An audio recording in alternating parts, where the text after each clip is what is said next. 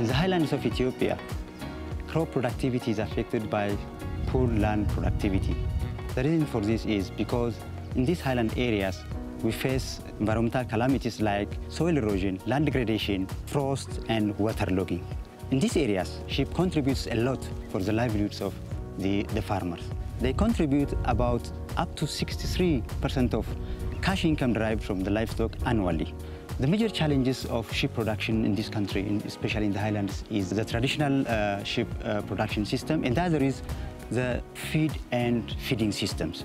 In order to improve the feeds and feeding systems, and also enhance the traditional productivity of uh, the, the people, the National Research System, in cooperation with ICARDA, has introduced and improved sheep fattening techniques.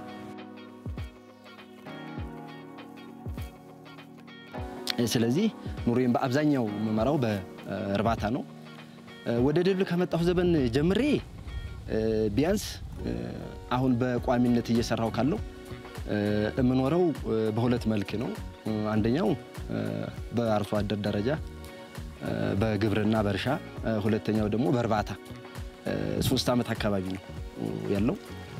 ሶስት ዓመት ስኖር እንደምታዩት ይህ አካባቢው በጣም እየተጋጋጠ እንደዚህ ምቹ ያልሆነ ሰፈር ነው ያለው። ተረፈ ምርቶች አሉ ከሰብል የሚገኙ ከሰብል ውስጥ የተገኘ ነው። ከሰብል ውስጥ የመጣ እንትን ነው። ሌላ አለ፣ መኖ አለ፣ ሌላ ከተረፈ ምርት አለ። ቅድም ያልኳቸው ገንቢ የሆኑ ምግቦች አሉ። አተር አለ፣ ባቄላ አለ፣ ምስር አለ። የእነዚህን ተረፈ ምርቶች ለዚህ አገልግሎት ይውላል።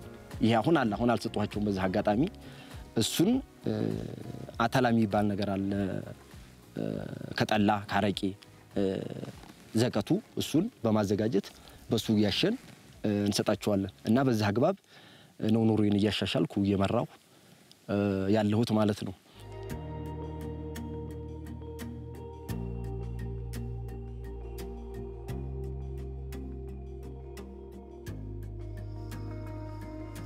The diagnostic studies that we uh, conducted uh, in this uh, project uh, sites, particularly in uh, Bahar Dar uh, district of northern Ethiopia, we um, found that cultivated forests are totally absent from the farming system, despite feed is a major constraint livestock production. So we thought that you know, if farmers uh, adopt uh, small-scale irrigation for fodder production, they could increase the amount of feed they produce, the quality of the feed they, they, they have for their livestock, and improve their livestock productivity. The feed resource is very limited in this region, especially the protein source. The, they rely on uh, uh, wheat and uh, uh, barley straws and uh, these desho grouse. Especially uh, in the protein source, it's very limited. That's why Bonga Agricultural Research Centers, in collaboration with ICARDA, is working to standardize uh, processing procedures of Burgamensia suavalens or commonly known uh, Polish flour to reduce the anti-nutritional factors by boiling and other techniques. Ebiyaaf bagoon taasibeeti bagoon tuneba adero qolla tareton tuneba showoch maayo ruppata maahe aajon showoche woci aajon uchiye ebina are bago gawe wodoch gawe dicocha maan wana andita doiti timirtona saanoch maayo gedda aimata qallebo maahe aajon biqiicona geddata nusi aajon uchiye biic aabo goddayem saatochi yiro giijjiyo aabo aqemuna dama amo comaanjiyo ወታ ቢያ ብኖ ዳለባ ቤጋ አደረ ወደ ጎሮ እንደ አ ውያ አታ ዳለባ ቤጋታ ባጎን ጋቢዋር ያቱ ዶያ አ ባጎን ዳማ አከ ጀገና ጋብቻ ዳለባ ከመሆን አሮቼ ወቻ ባጎ ከመ ይከ ባጎን ከማ ጉቴ ባጎ ከመ ጉቶ ከማ አ አውዲ አንድ የር ጋለቶ ነታ ታቶ የሚቶ ሙና ሽሪቶች ሀሲማ ጌታ ገደን ዶካ ሽሪቶች በቻ ተቲያ ይኮ ግቲቺ ቢያ ውቼ ባጎ ቤተ ገደን አውዶን ሽሚቲ ቤ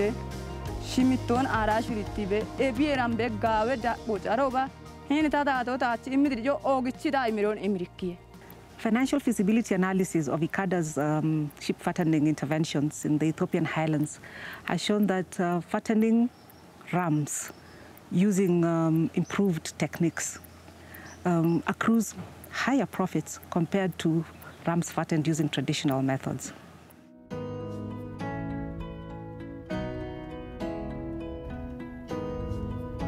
ቀደም ባለ ጊዜ ውስጥ በጎችን ማረባው ዝም ብዬ ሜዳ እየዋልኩ እና ከአምሳ በግም ካለኝ ሀያ በግም ካለኝ ከበጎቹ ጋር በወንዶቹ በጎች አውላለሁ። ሁለት ዓመት ሶስት ዓመት ቆይቼ ነበር የሚሸጠው ዝም ብዬ ከሜዳ ከዛ እያመጣው ማለት ነው። አሁን ከዛ ወዲህ የማደልበው በፊት በአመት አንድ ጊዜ ብቻ ነበር የማደልበው። ከምርምር ጋር ከሰራው ጀምሬ በአመት ሶስት ጊዜ ነው የማደልበው። በአመት ሶስት ጊዜ ሳደልብ በጎችን አውሮችን ቤት እያሰርኩ እየመገቡ ገንቢ ምግብና አተላ፣ ፋጉሎ፣ ማገጥ፣ ገለባ በማደባለቅ ኃይል ሰጭና ገንቢ የሚባሉት አሁን አተላ እና ፋጉሎ ገንቢ ነው። ይሄ ማገጥ ገለባ የሚባለው ደግሞ ኃይል ሰጭ ነው። እነሱን እያዋሃድኩ በአመት ሶስት ጊዜ ያደለባለሁ። ለፋሲካ አንድ ጊዜ፣ ለዘመን አንድ ጊዜ፣ ለገና በዓል አንድ ጊዜ፣ በአመት ሶስት ጊዜ ነው የሚሸጠው። በየአመት ያለው ቤት እያሰርኩ ብዙ ውጭ አላወጣም። ስለዚህ ለውጡ ያገኘው ለውጥ በፊት አንድ አውራ 700 800 ነበር የሚሸጠው። አሁን 15 በገዛ 25 እስከ 30 አንድ አውራ እሸጣለሁ። ስለዚህ ከፍተኛ ለውጥ ነው እየዘራ ያለሁት። አጠቃላይ ከ18 እስከ 28 አውራዎች ያደልባለሁ እኔ። Improved sheep fattening practices uh, utilizing locally available feed resources are financially rewarding to farmers. However, despite gains made in ram performance, we've seen minimal progression towards commercial-based fattening associated with clear um, production objectives and financial capacity.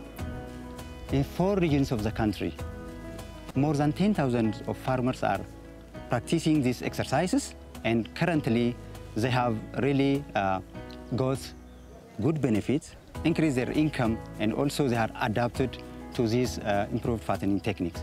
The challenge they are having these days is that the problem with the marketing issue on their fattened rams using these improved fattening techniques. 07 ቀበሌ ሚኒሊየም ወጣቶች እንስሳት እርባታና ማድለብ ግብይት ህብረት ስራ ማህበር ሰብሳቢ ነኝ። አሁን እሱን ስራ ያው እድሉ ላይ 20 ወጣቶች አራት ሴትና 16 ወንዶች ሆነን ነው እየሰራን ያለው እና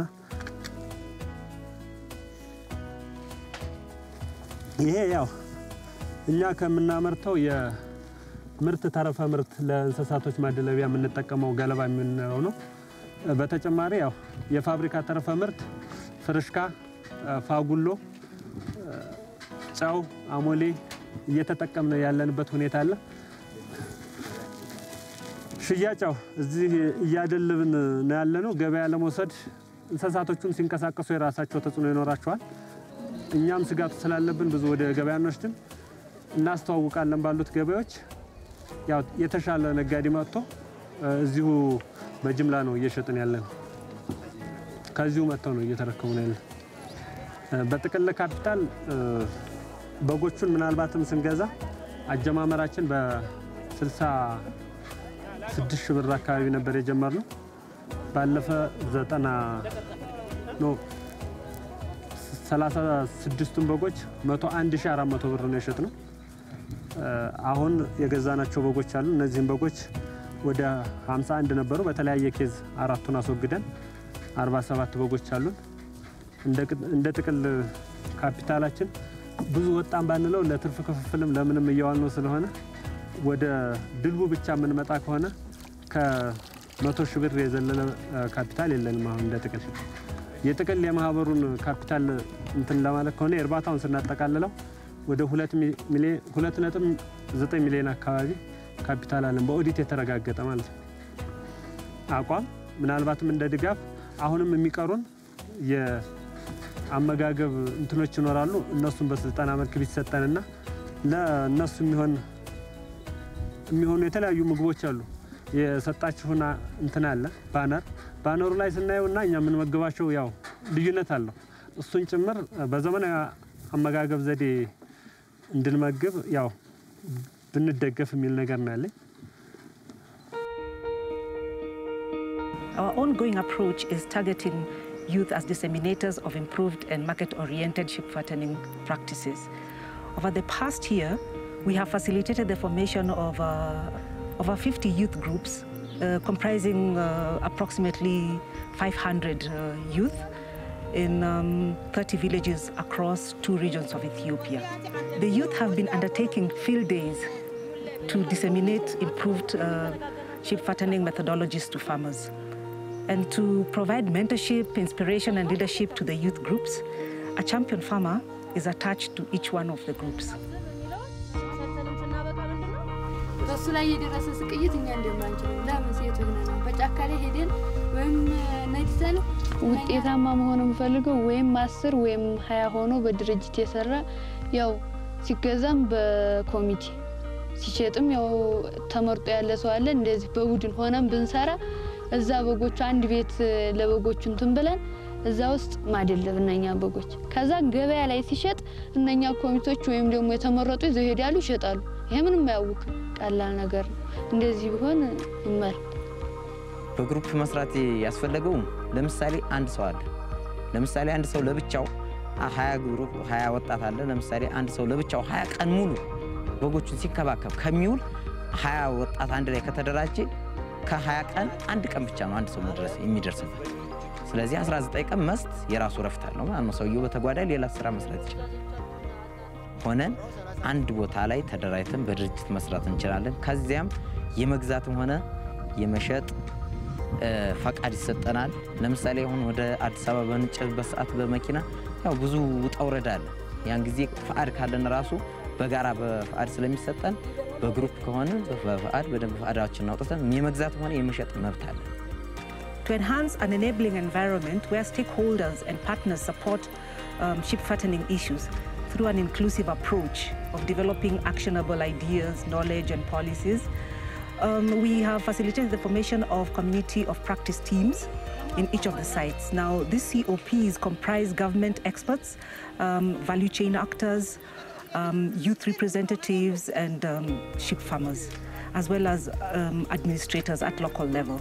We really anticipate that um, incorporation of an entrepreneurial culture into sheep fattening will be a springboard to developing a vibrant sheep sector in the Ethiopian highlands.